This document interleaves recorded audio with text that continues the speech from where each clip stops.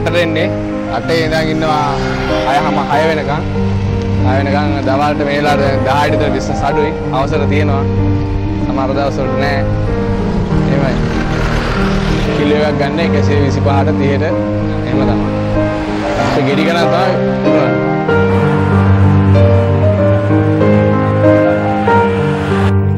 මයි ටික ජීවත් කරන්න ඕනේ කන්න ඕනේ. මේකෙන් මේ ලාභයක් නැතුනොත් එහෙම ඉතින් ගෙදර කන්න නැහැ එදා වේල හොයා ගන්න නැහැ ළමයි ඉතින් මම එනකන් කිය කරගෙන බලන් ඉන්නවා. ඉස්කෝලේ යවන්න ඕන ළමයි. ඒකයි මේ මේකෙන් තමයි හම්බ කරගෙන ජීවත් වෙන්නේ බොහොම අමාරුයි මේ. අමාරුවෙන් තමයි මහන්සි තමයි මේක හම්බ කරගන්නේ ඒකෙන් තමයි ඉතින් ගෙදරට කීයක් හරි දීන් දෙන්නේ. එන්න මට රුපියල් යන්න එන්න රුපියල් 200ක් 300ක් යනවා. පස් ආයෙ ගෙදර වීල් එක එන්නේ. මම ගම්පොලට රුපියල් ඉතින් රුපියල් 50ක් ගන්නවා වීල් එකට. අමාරු ජීවිතයක් තමයි ගත කරන්නේ. කවුරු ඉන්නවා මගේ ළමයි ඉන්න තුන්දෙනෙක්.